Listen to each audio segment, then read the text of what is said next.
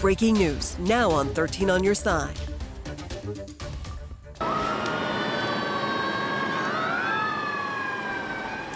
And we continue to follow breaking news in Walker, where a fire has heavily damaged several units at an apartment complex. We could see the flames and smoke at Greenridge, Greenridge Apartments from our tower camera here at 13 on your side. They're located directly behind Target on Alpine. 13 on your side's Andrea Flores got to the scene shortly after the fire started, and she talked with a neighbor. Andrea joins us now live. And what's happening, Andrea?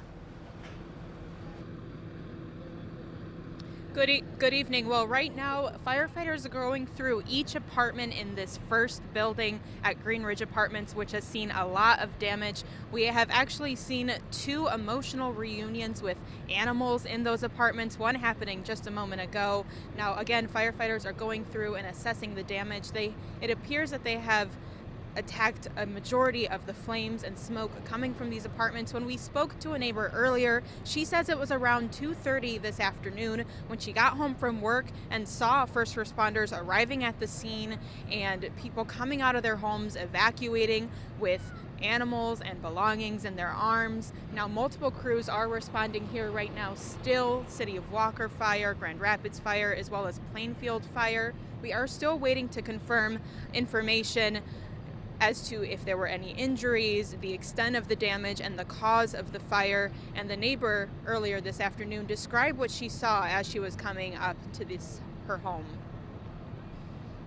I was just really surprised because, like I said, I've lived here over five years and never seen anything like this before.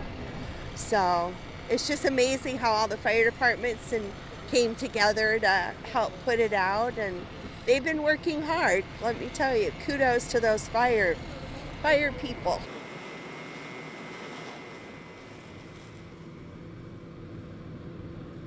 And we actually just saw American Red Cross arrive on the scene a little bit ago, so it appears that people who live in these homes are getting some help tonight. We will confirm that information as well as more from the fire chief as we learn.